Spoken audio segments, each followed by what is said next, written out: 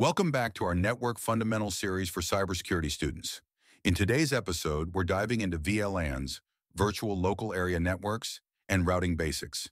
These are powerful tools for managing and securing networks.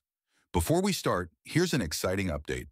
We've just launched our cybersecurity blog, Cyber News, on Substack, a perfect way to boost your tech and cybersecurity knowledge every day in a summarized and easy-to-read format. Check it out to stay ahead in the fast-paced world of cybersecurity. Now let's dive in. Today, we'll be covering VLANs, which are all about creating logical groups within a physical network, and routing, which ensures data gets to the right place across different networks. Together, these concepts are the building blocks for efficient and secure network design. Let's start with VLANs. A virtual local area network, VLAN, is a way to segment a single physical network into multiple logical networks. Think of it as dividing one big office into smaller, isolated rooms, even though they share the same building. Devices in one VLAN can't directly communicate with devices in another VLAN unless explicitly allowed. For example, you could have separate VLANs for HR, IT, and SALES.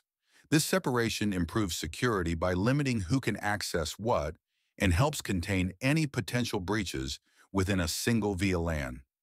VLANs are incredibly useful for cybersecurity because they act as barriers within your network.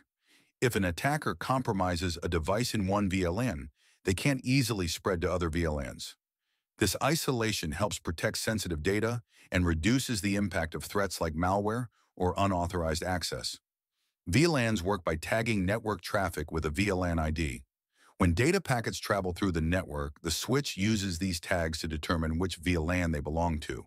For example, VLAN 10 might be for HR, VLAN 20 for IT, and VLAN 30 for sales.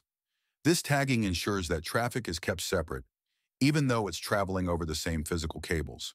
To set up VLANs, you'll use a managed switch that supports VLAN tagging.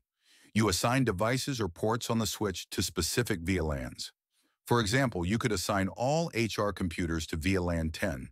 Once configured, the switch keeps traffic within its assigned VLAN unless a router is used to allow communication between VLANs. Now let's talk about routing. While VLANs are great for organizing traffic within a network, sometimes you need devices in different VLANs or networks to communicate. That's where routers come in. A router is like a traffic cop that directs data between different networks, ensuring it reaches the right destination. Here's how it works. Each device on a network has an IP address and routers use these addresses to figure out where data needs to go.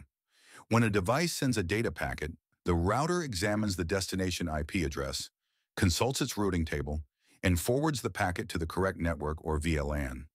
In cybersecurity, routing is critical for controlling how data flows between different segments of your network, ensuring secure and efficient communication. When it comes to VLANs, routers play an important role in inter-VLAN communication. For example, let's say HR VLAN 10 needs to send data to IT via VLAN 20. The router acts as a bridge between these VLANs using rules you set up to determine what traffic is allowed. This adds an extra layer of control and security. VLANs and routing are crucial for network segmentation, a key cybersecurity strategy. By isolating sensitive data and controlling traffic between segments, you reduce the risk of data breaches and make it harder for attackers to move laterally through your network. Plus, with proper routing rules, you can enforce policies like allowing only specific devices to communicate across VLANs. Here are some best practices for using VLANs and routing securely. Define VLANs for specific departments or functions like HR, IT, and guest access. Use strict routing rules to control inter-VLAN communication. Monitor network traffic for unusual activity, especially between VLANs. Regularly update your switch and router firmware to patch vulnerabilities. Implement firewall rules to filter and inspect traffic moving between VLANs. To recap, VLANs are essential for organizing and securing your network by creating logical segments within a physical network. Routing ensures data moves between VLANs or networks securely and efficiently. Together, these tools are foundational for building a robust and secure network infrastructure. Thanks for watching.